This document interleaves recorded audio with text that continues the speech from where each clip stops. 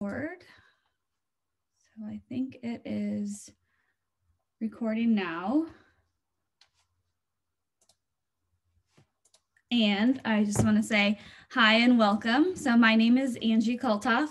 I am up in Minnesota and I have my awesome Texas mug with me today because my co-presenter Becky isn't able to be here with us. So I'm going to do the presentation alone and try to fill in as best as I can with the parts that Becky would have shared. But Becky's a teacher in Texas and I am a former teacher in Minnesota um, and now work at Capstone. While I was a teacher, I, I was the teacher that thought I was annoying and would always reach out to the ed tech companies and say, hey, I want to try this, or like, have you thought of this, or have you done this feature? And I thought I was bugging them. But now working at Capstone, I love that. I want to talk to teachers and I want that feedback. So if you're um, an educator and you have feedback, we want to know. It's it's great for us. So Becky and I met out in um, Rhode Island at the Infosys Pathfinders Institute last year in February, so right before the pandemic hit. And um, sh she came to my session on using the Kibo robot and Scratch Junior in early childhood classrooms to teach computer science. Um, so that's how we met. And we decided at that Infosys Pathfinders Institute in person that we had a lot in common and that it would be fun to do some projects together and stay in touch. So we did. And we ended up doing this virtual robotics club together, which is all about the session today. Uh, but one of the sessions, if you are interested more in learning about Dash from Wonder Workshop, which I'll be highlighting today in this session, um, they have another session coming up this summer in July in the online version of the Infosys Pathfinders Institute. And I think Becky was able to get most, if not all of hers paid for through Donors Choose um, and the Infosys Foundation. So if you're looking for more in-depth PD, or if you have the Dash robot and you just want more time to get hands-on with some of the projects, I would highly recommend checking out that professional development opportunity. So here I am, and here's Becky. So this is what I plan to cover today.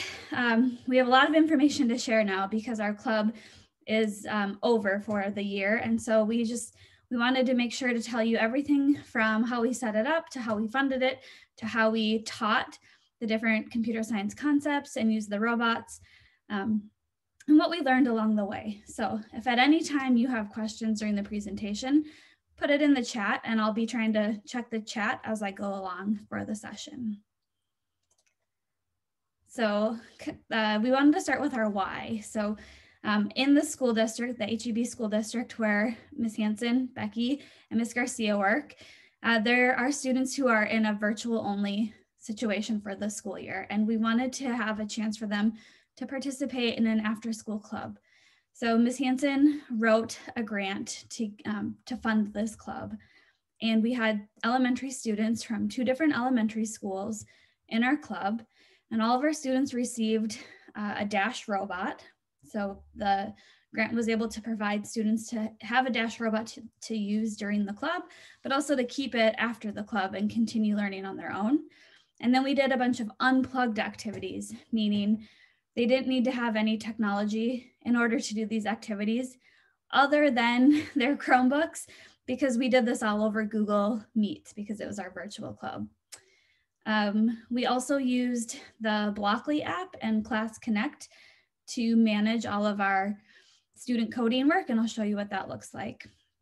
And we use Capstone Connect um, with our content. So Capstone Connect, I'll go over that in a minute, but we use different ebooks and different PebbleGo and PebbleGo Next articles to support the concepts our students were learning in our unplugged activities and in um, the coding activities that they were doing with Dash. And our club met every Tuesday from 3.30 to 5 and some tuesdays we had a guest speaker uh, join us online and talk about their experience and i'll share more about that as we go so at the Infosys Institute that Becky attended with me, um, one of the things we talked a lot about is some research done by Dr. Marina Umaschi Bers out of Tufts University in, in the Boston area. And she talks about a lot about learning environments for children and if they are a play pen type environment or a playground type environment. So in the chat, I would love to see some words that come to mind when you think of a play pen. So go ahead and put in the chat. What are some words that you think of when you think of a playpen?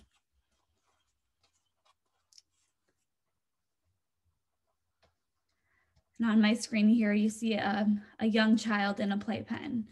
So um, for young children like a toddler, it's a confined space.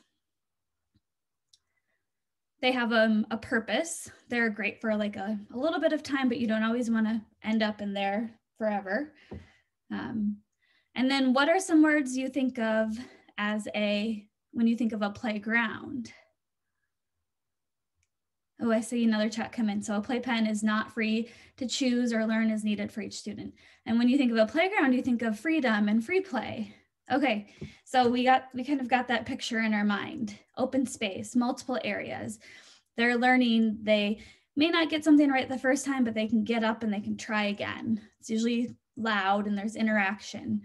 And so Dr. Bers in her research talks about what type of um, tools people and children are using and whether that's a play pen or a playground type environment. And so we wanted to be able to emulate both the playground and the playpen in our virtual club setting. And neither of us had uh, ever taught a virtual club. So it was a, a new experience for both of us. Another piece of research that came out of Tufts in the DevTech research group with Dr. Bers is the positive technological development framework.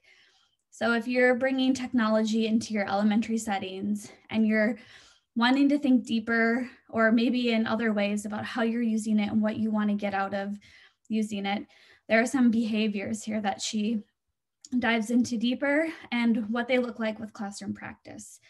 Um, I've been working on a, a blog series with a former student and um, current employee at Tufts. Her name is Dr. Amanda Strawhacker, and we have been breaking down each behavior in the PTD framework and talking about what different um, activities look like and at home and at school during the during teaching during the pandemic. And then the DevTech website has a ton of research. So if you're trying to make a case for bringing um, different types of technology activities or robotics or computer science or computational thinking into your learning space, DevTech has a bunch of research for you that you can dig into and help make that case. And we'll share out this presentation on our capstone site so that you can um, have access to these links after the presentation. So just to jump into funding a little bit more. So Becky was able to attend the Infosys Foundation Pathfinders Institute and spent, I think it was three or four days learning all about Dash, the robot that we used in our club, and different types of challenges and activities that she could do as a teacher with her students. And Donors Choose was how she funded that. And the Infosys Foundation had matched a lot of the um, donations that came in for her. And then her school district that she works in, the HEB ISD Education Foundation, awarded her a grant of about $3,800. And that's what allowed us to buy the Dash robots. So each learner in our activity, in our club, got to keep their robot. And then they used their school issued device to program their robot, and they were using Chromebooks, as well as different unplugged materials um, they each learner got a bag of unplugged materials before we started, uh, before our parent kickoff meeting. And I'll talk more about that in a minute, but they were able to keep everything because of that donation. So it was really helpful for us to have um, both of those funding sources to kick off this club. So this is our daily schedule for our club. So I mentioned before, we went from 3.30 to 5. And just to break it down and kind of try to show you what we did, um, we also learned that less is more. And we had um, all these grand ideas and things that we wanted to do, but it was a completely virtual club and we were using Chromebooks and the Dash robot and things didn't always go the way we planned. So we ended up having to cut some stuff out sometimes. Uh, but we did try to give ourselves a buffer at the beginning. So as students entered, we could troubleshoot any technical issues as learners were reading their own ebooks um, on their computers. Then we would have a poll of some kind and it sometimes was related to the book they read, Sometimes it wasn't, and I'll show you some examples. Then we would do an unplugged activity. And during that unplugged activity time, we were really trying to help students connect with new words or strategies without having to do um, a coding activity with their app. Um, then we would move into coding with the Dash robot in Dash's neighborhood um, or in the Class Connect area. And then we'd come back together and close out as a whole group. And some days we had guest speakers, and the days that we didn't have guest speakers, they were just able to continue coding and have more time to work. So I'm going to pause just real quick and see if anyone has questions in the chat. I haven't seen any new ones come in yet. Feel free to send them at any time, but I will keep going and check back in in a little bit. So our club, we planned it to be seven weeks. And this is the, stru the structure we used as we were um, brainstorming and planning how our club would go. We wanted to start with that a get to know you type question because we had students from two different schools coming together in our online virtual club they didn't all know each other. So we wanted to have some type of opening activity. We had different books or PebbleGo articles to support those vocabulary words, like you see here about debugging or how computers work.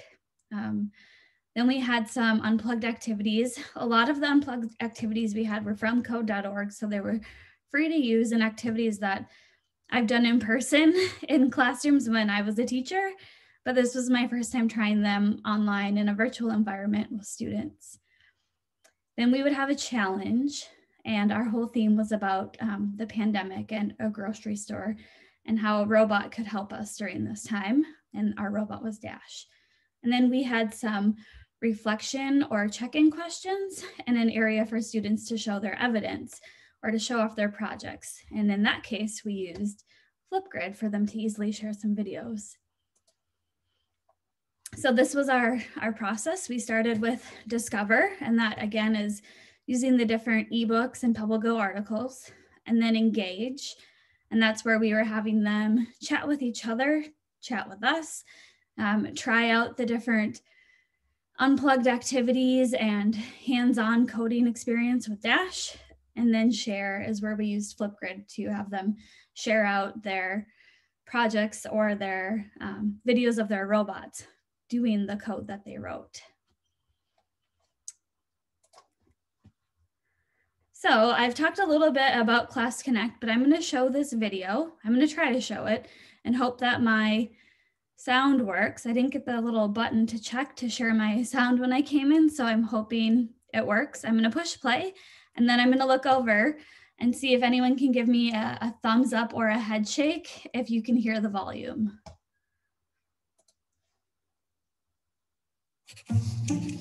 You're a teacher. You spend hours every week finding resources for your students, the right resources. You gather it, you send it, they click it, and get an error, or have to create yet another login and password. They get frustrated. Their caregivers get frustrated and you get frustrated. There is an easier way. Introducing Capstone Connect, your one stop content hub, where you can quickly and easily search and share educationally appropriate, highly engaging capstone content. Capstone Connect gives you instant access to PebbleGo, Pebble Go Next, PebbleGo Spanish, PebbleGo Read More, Capstone Interactive's collection of ebooks with read aloud audio, and hundreds of other digital learning resources designed for use by both teachers and students. With Capstone Connect, you have thousands of content pieces that are matched to state and national standards right at your fingertips. No matter what ed tech tool you're using, you can give your students direct access to Capstone Connect's content with just a few clicks. Here's how it works. Once you've signed into your PebbleGo account, simply click the Capstone drop-down menu and select Search. Here you can search by either state and national standards or by title and get instant results. which you can organize by type and also preview each item to find the exact content you're looking for. Then just copy the link and directly add it to any EdTech platform to give your students one-click access. No new logins or passwords required. Connecting your students to great resources has never been easier. With Capstone Connect. Go to capstoneconnect.com and click Request More Information to be contacted by your local Capstone representative.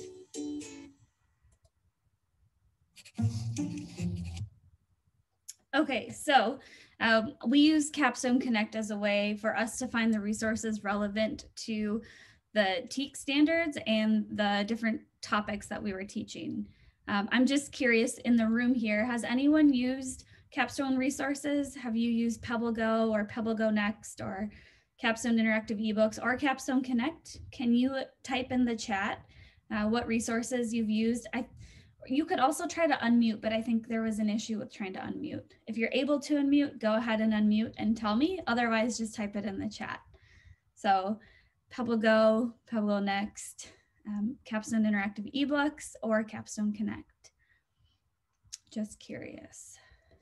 I'll pause for a moment.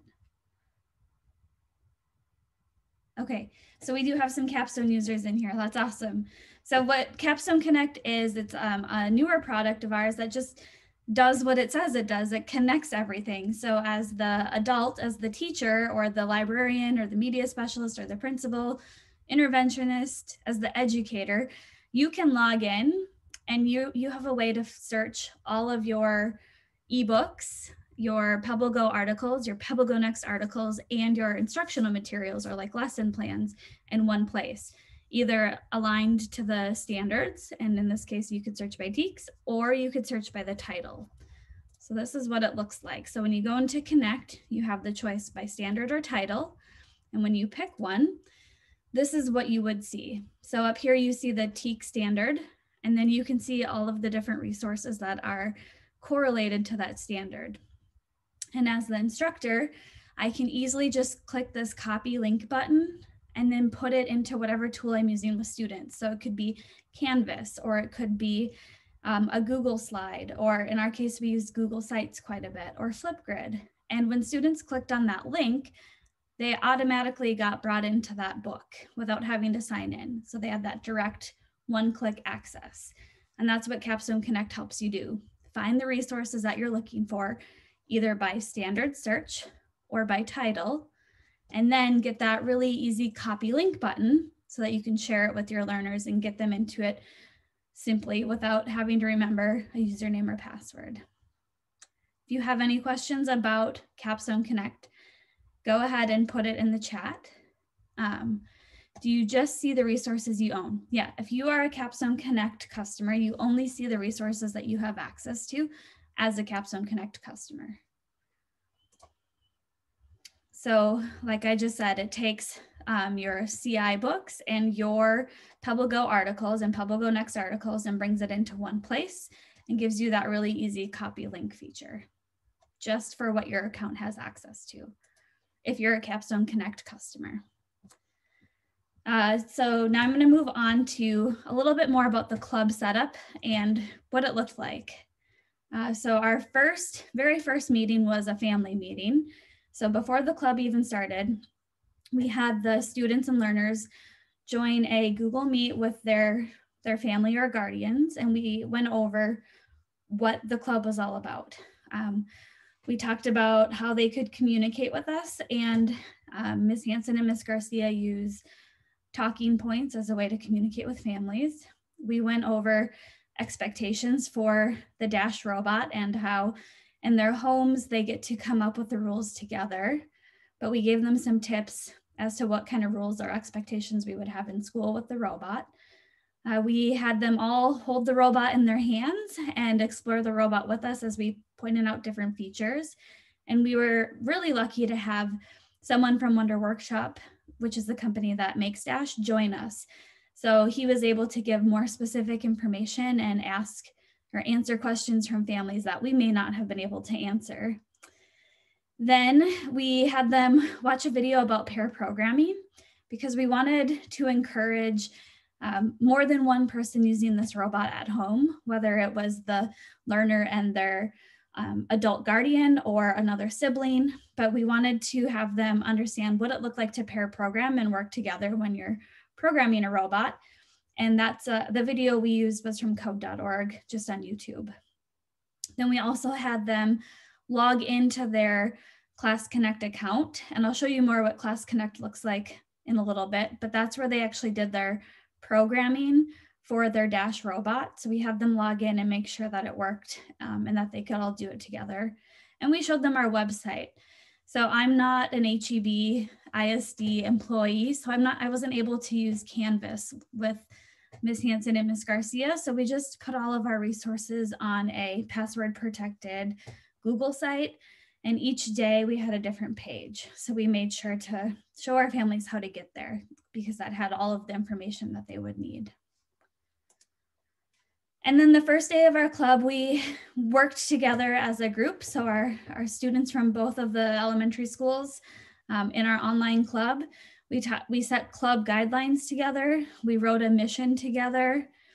We went through what we would do daily and what would be different. And every day we thought about how robots can help us and we went through our objective. We also went through our website and on our website, we had really easy access for students to get to an ebook shelf of all of our Capstone Interactive ebooks. Um, we had some free choice reading time and we encouraged them to read some of these books outside of club time.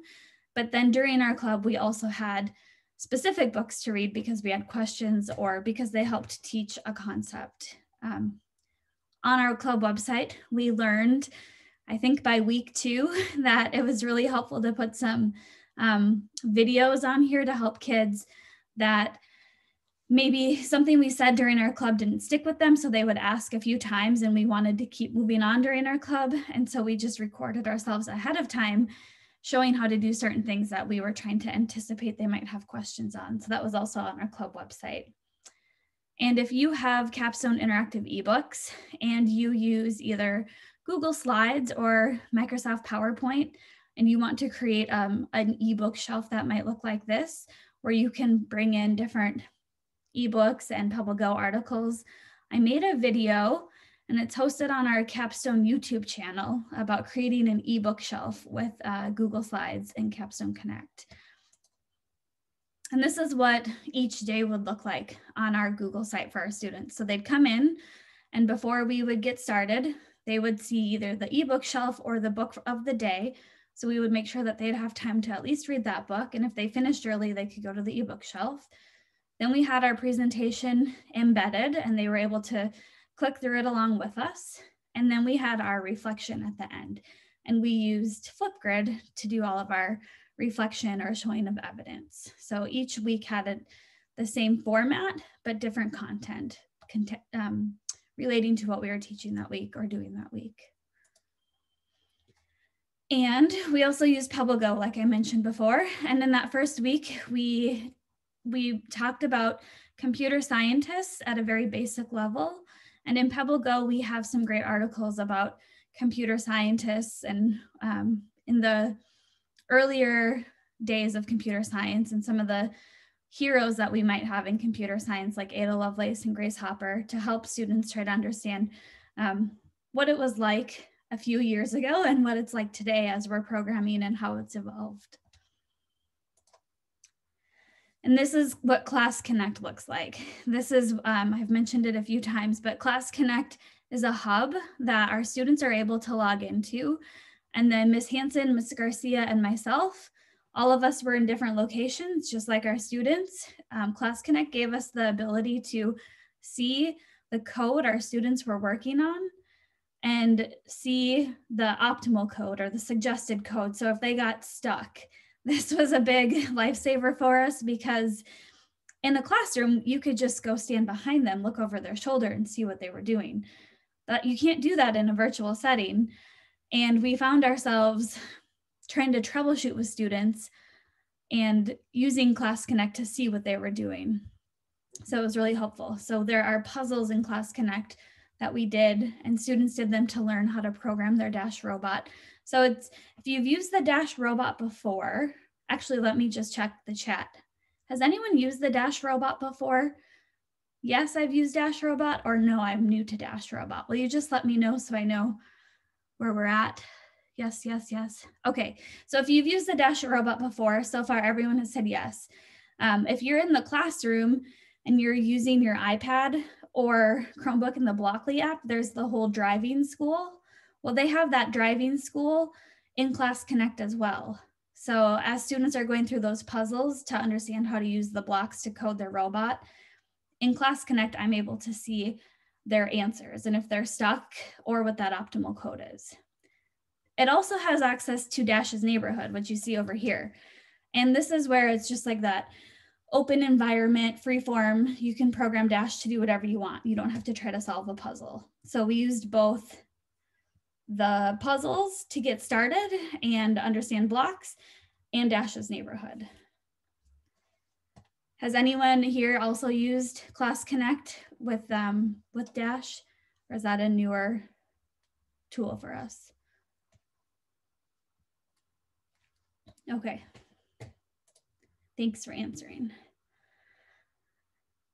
Oh, Karen, you might have met, if the summer summit is the Infosys summit, you may have been there with Becky. If it's not the Infosys summit, then maybe not. um, okay, we're gonna jump into Dash a little bit more. So Dash is from Wonder Workshop. This is the resource that we used for our, our um, project or our virtual club. And we also did unplugged activities. So that was like after students came in, they got to read their books. Then they did some unplugged activities. And that's what we're going to look at now how we connected the books and the unplugged activities. So in our first week, we talked about debugging. So our, our new word our concept was debugging. And we chose that for the first week because we knew we would have to do a lot of debugging in this virtual club not only debugging, finding and fixing errors in our code, but debugging with our technology and our environment and our new setting. So code.org has a, a free unplugged activity called um, My Robotic Friend, and you program your friend to make a tower out of cups. And so in that big bag of supplies that all of our learners got before the club started, we gave them some cups that look like this. So we had students in different breakout rooms and they were able to create their own code. Um, at first, we had them do it on paper, and then we decided to try it with Jamboard so it'd be easier to share. And we learned that having them draw their arrows on a Jamboard and share their screen in their breakout room worked much easier than trying to have them write arrows on a piece of paper and hold it up to the screen. So if this is something that you want to try virtually, Jamboard worked great for that doing it in person, which is what I had done before, we would use um, whiteboards or I'd print out little strips of paper with spe- specific boxes for kids to put the arrows in. So um, they learned how to uh, create their own code with arrows. And then their partner, through um, Google Meets, through the camera, would program their cup following their directions. And the debugging came in when they were making their towers if their tower didn't look like the like it should have based on the person who made the code they would have to find and fix their errors. And in capstone connect one of the books that is available is all about debugging. And it goes through um, a real life situation where you have to debug um, not necessarily connected to computer science but i think this one was connected to a recipe in week two, our unplugged activity started us off with algorithms. So algorithms was a, a key word for us that we continued on with um, a few more weeks. But this is the week where we decided to try it with Jamboard. So we did that same unplugged activity, which we found to be challenging, having them do it on paper and hold up. This week we tried it with Jamboard and it went better. Um, and our book that we used this week was about how computers work. So trying to understand how computers work and that they run off of algorithms and that's what we would be creating. And Dash was like a computer because it has an input and an output and we were going to be working with Dash and using algorithms to program it. In week four, we had unplugged activities again, all about algorithms. But this week, we also gave students um, a container of Legos in their bag that they got at the beginning. And there's a whole booklet from the Lego Foundation. It's called Six Bricks Booklet. And there's a ton of activities that you can do with students with only using six bricks. So six Lego bricks. And the activity we did was can you copy? So again, using breakout rooms, one person in the breakout room would make a structure with their Legos and then hold it up and their peers would have to try to copy that same structure with their Legos. And so we did um, different things like holding it back, holding it forward, um, talking about it, doing it silent to just talk through what situations worked better online, which ones were more frustrating, or like what the ideal environment or situation would be so that we could apply that to algorithms, making a list of steps that you can follow to finish a task, and what that would be like with the Dash robot when we're programming.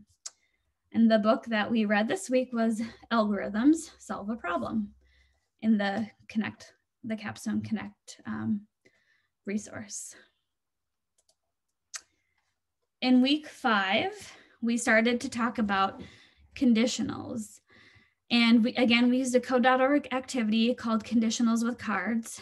And this one, you draw a card, and then based on what the card, what card you drew, you would do different points or different actions. So if your card is red, you'd get one point. If it's not red, then it's going to be black in the deck of cards we have. Um, so if it's red, you get a point. Else, meaning it's not red, you then you would go down here. If a card is higher than nine, you get a point. Else, you award your team the same number of points on the card. So we played different card games to talk about conditionals. The book that we read was A Coding Mission by Shannon McClintock Miller. And she is actually a presenter at TLA. So I think she's doing a session on Wakelet.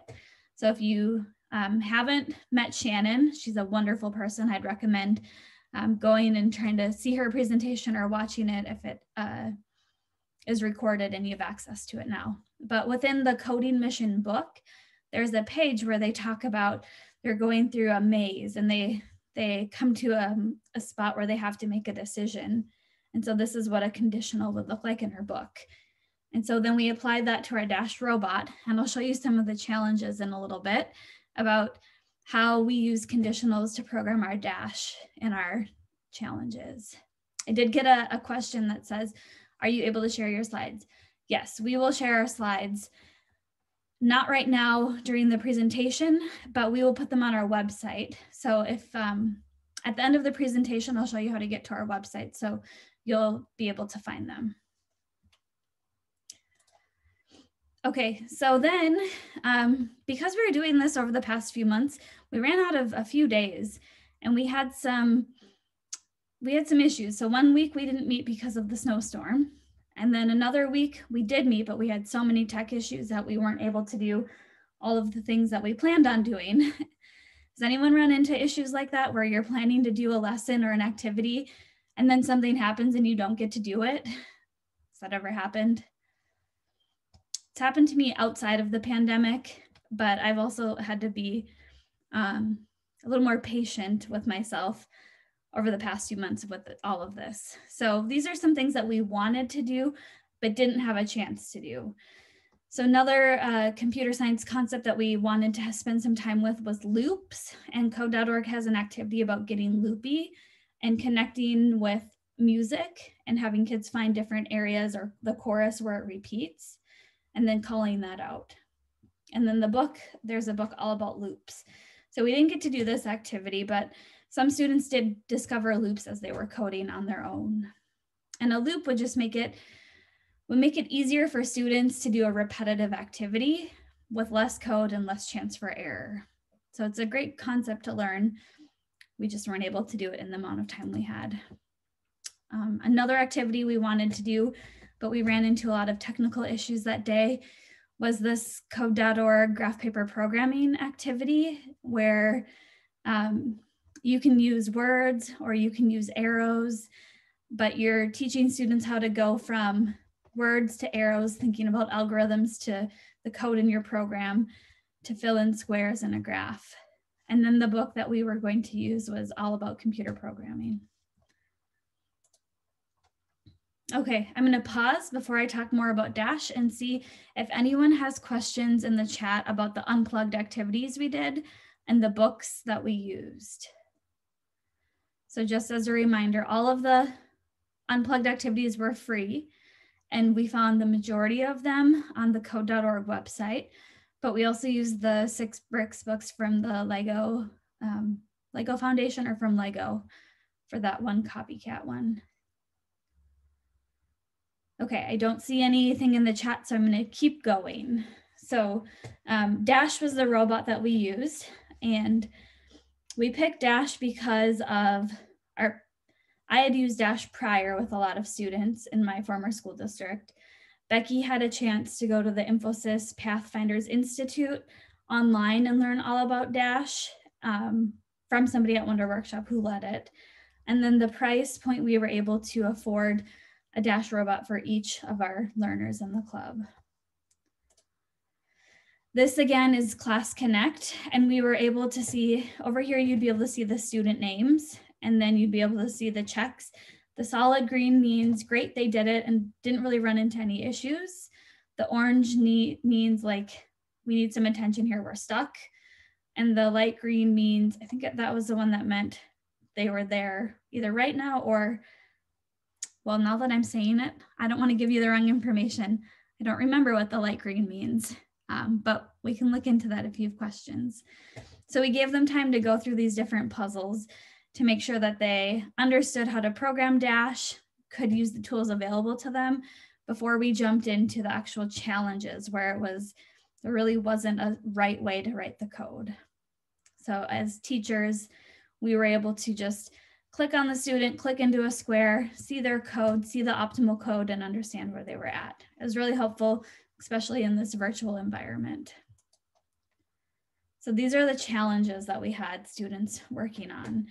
We talked about how we currently are living through a pandemic and not everyone can go to a grocery store right now. So what if we had robots in our daily lives? How could they help us? Um, so we, we worked with Dash and set up a grocery store in our homes. And we worked to program Dash to go to that grocery store for us and get the supplies that we might need. So our first challenge was to actually just make space in your house and either use things that you have in your house or some of the things from the paper from the bag that we sent before the club started and design a grocery store. Lay things out in your room to make a grocery store the best that you can. And then see if you can program Dash to drive around your grocery store. So that was our week one challenge. Our week two challenge was to then capture your dash driving through the grocery store and in like a path um, and make a video of dash driving through your grocery store and submit it to Flipgrid. So we we allowed students either take a picture or a video, and then we encouraged them to comment on each other's pictures or videos. We also had them create an attachment. So they got to build an attachment out of anything they had access to. And that attachment should be used to help Dash pick something up or move something in their grocery store. So this is an example of an attachment. And then in week three, our goal was to pick it up and move it but get it all the way to the cash register. So like, for example, if you wanted a box of cereal, how could your robot um, drive to the aisle where the cereal is, either pick up or push that cereal box all the way over to the register. So as you can imagine, everyone's um, grocery store looked different. So everyone had different code and we wanted them to share the video of their dash moving and any challenges they ran into so that they could um, troubleshoot together in Flipgrid because it was all virtual. And then challenge four is where our, if else statements came in handy because our conditionals, because our challenge was for if Dash would get close to something. So if Dash got close, Dash could say something like, You're too close, you need to be six feet apart. Or Dash could, if Dash realized it was getting too close, it could immediately back up. That one we had a lot of issues with. Um, some of the sensors, it was hard to make those sensors work, and we didn't know why we struggled so much with it, but both our learners struggled with it and as adults we struggled with it. So we thought maybe it was something with the software or our sensors. We weren't sure. We weren't able to figure that one out. And then, oh, I'll pause. So any questions about Dash or any of those challenges that I just uh, went through? I'll look at my chat for a few seconds before moving on. Yes, I agree. Sometimes not being able to figure it out is the best lesson. We had to do a lot of debugging and um, and show our patience and our persistence and our problem solving. Yes. Okay, I'm to keep going then. So then we had some guest speakers a few days, and our guest speakers came from a variety of different places. So we had our someone from Wonder Workshop come, and he spoke to our families at the very beginning um, in our kickoff meeting. We had a software engineer from Target speak to our learners about her position at Target and what she does. And um, I learned a lot in that presentation that I didn't even think about, but all of the different like Target app and website, and then the hardware in the stores and the software that they have internally for Target team members. It, um, it was a it was a great learning experience for all and helped us think about different jobs in computer science. And then we had a robotics coach from within the school district come and talk about the opportunities that these students could have in the future. So when they would go on to middle school or high school, different classes or clubs that they could join. And then we had Dr. Amanda Sullivan join us, who wrote this book, Breaking the STEM Stereotype. And she talked about her job as an educational consultant and um, how as a mom of young children, she is really hoping to help more schools and companies create education, um, educationally and developmentally appropriate tools for young children. And when our engineer at Target joined us, she talked a lot about the software, but also the hardware at Target and how when you work at Target, there's different teams you can work on. And we use this PebbleGo article to help students understand the difference between software and hardware. And then we just, we were curious and asked them, what one do you think you would like to work on more? Would you like to rather build the resources, the hardware like the scanners or the checkout machines, or would you rather build the software like the app or the web? So I'm gonna pause and ask in the chat what one do you think you'd be more interested in working on? Do you think, are you more of a hardware person or are you more of a software person? What would you have more interest in building? Software, hardware. Oh, we got a split. Um, I did see a question about how many students participated in the club. That's a great question. I would think on average, a daily average, I would say we had about 20 students in our club um, a few more, a few less each week. And we had three instructors. So we had one teacher from one school, that was Miss Garcia, and then Miss Hanson was from a different school. And then I was volunteering as a capstone employee um, as part of our volunteer hours. We get to volunteer. So we had three adults, but that allowed for if somebody had a meeting or wasn't able to attend, we always had two adults. So Sometimes we had three adults for about 20 students. Sometimes we had two adults. So if you have a follow-up question to that, let me know in the chat. And then we just wanted to share a little bit about our experience. So um, we had, so we had the Dash robot with Chromebooks, and we had a lot of issues with Dash and the Chromebooks. And that's where some of the lost time came or the troubleshooting and debugging. Um, we learned that in the Chrome Web Store, there's an app that you can use, but we didn't necessarily have access to the app on all of our devices. That the Dash robot does need to get updated, and their Chromebooks couldn't update them. So they had to find a way to get to a, a tablet like a iPad or an iPhone to do some of the updates. Sometimes we would run into glitches or a slow connection or no connection. And that was really frustrating when you're in a virtual club and you're a third grader, you can't get your robot to connect to do the code that you wanted to do. So we had to really work on our persistence. Um, I've taught with Dash in classrooms in the past, and we used iPads, and I didn't run into a lot of those those um, bugs or technical glitches with the iPads with Dash, like I ran into this time with Chromebooks and Dash. Just curious in the chat, are you using Dash with iPads or Chromebooks? So let me know Dash and iPads or Dash and Chromebooks or something else. And then did you experience any of the things I just said with the updates or glitches or slow connection? Has anyone else seen that? Looks like we have a lot of iPad users. Okay. But what was really great is we reached out to Wonder Workshop and one of their employees, her name is Abigail, she joined one of our Google Meets and listened to what was going on and then was able to get an engineer in with us who also listened. And um, the kids showed them what was happening so they were able to work with them to try to make it a better experience. So it was really cool that they took the time to do that with us. We really appreciated that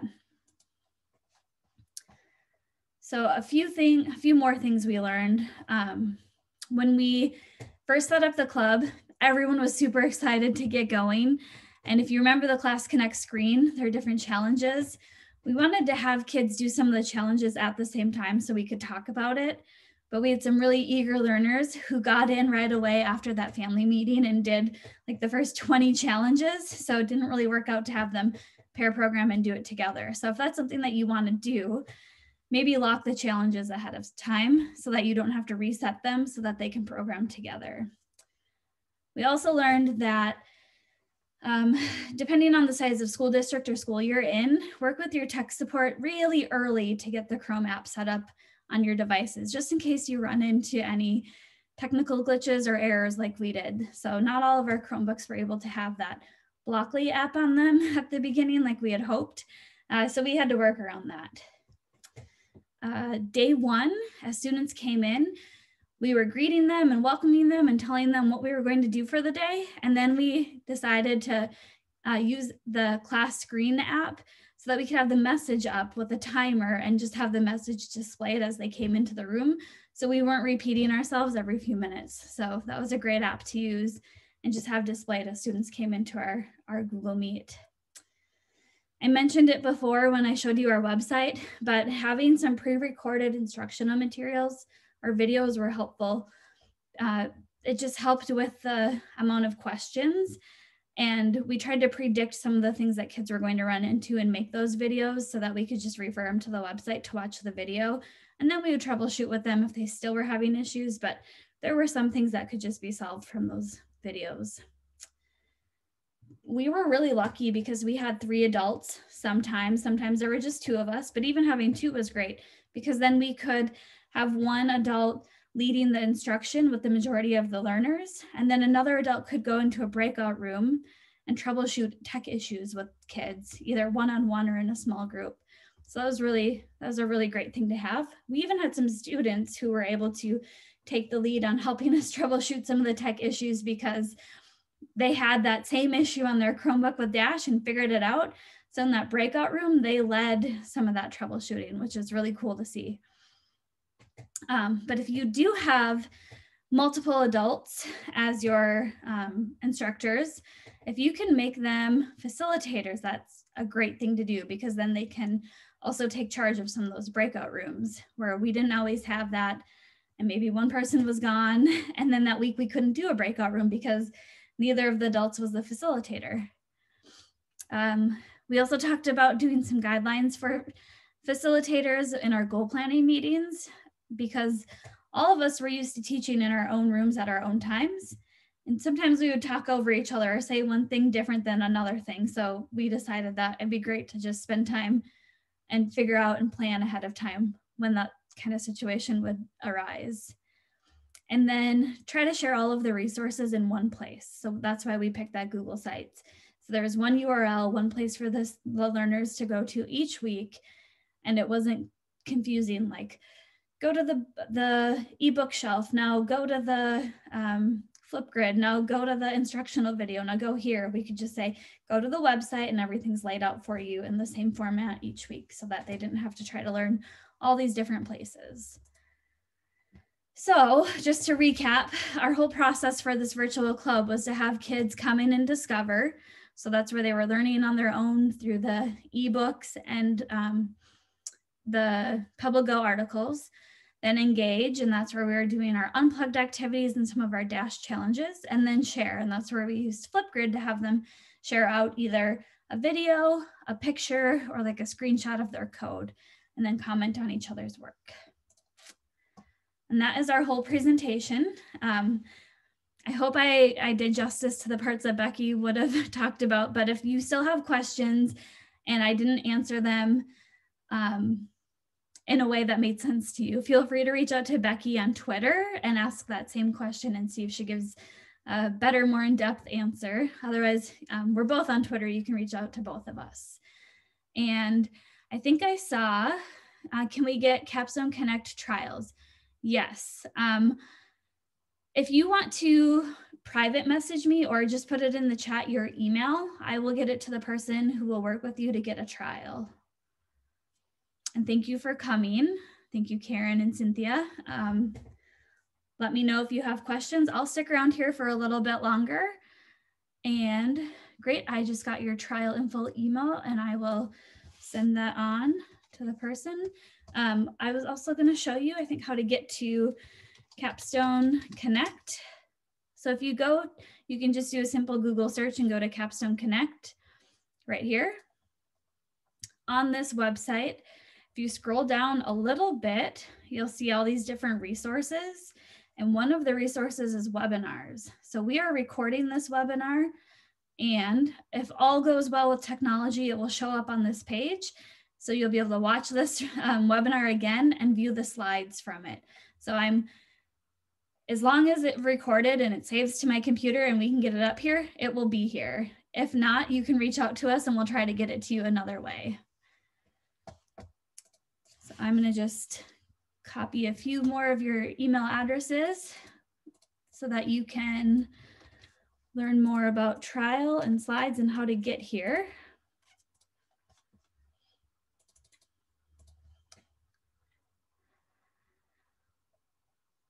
Awesome, thanks for coming.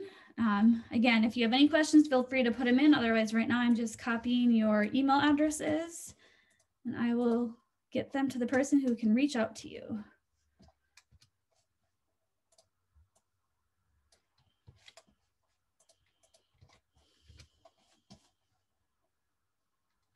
Thanks, Karen. You too have a great rest of the conference.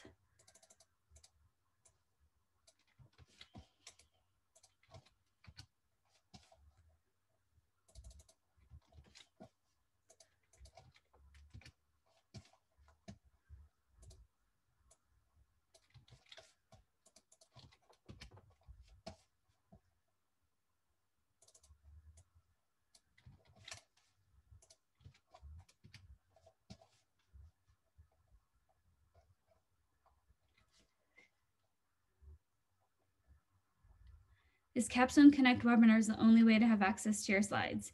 Michelle, that is where I know for sure they'll go is to this website with the word slides down here. I'm not sure if by coming in to this webinar or if by going to the Capstone booth, you'll be able to have access to the slides, but for sure they'll the slides will come here. I'll put this in the chat in case that's easier for you to get to it.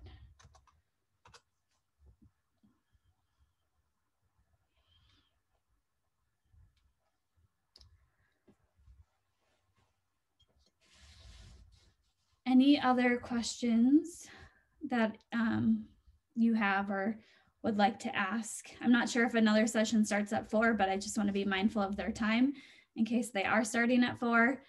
I'm going to stop sharing my screen and stop my recording.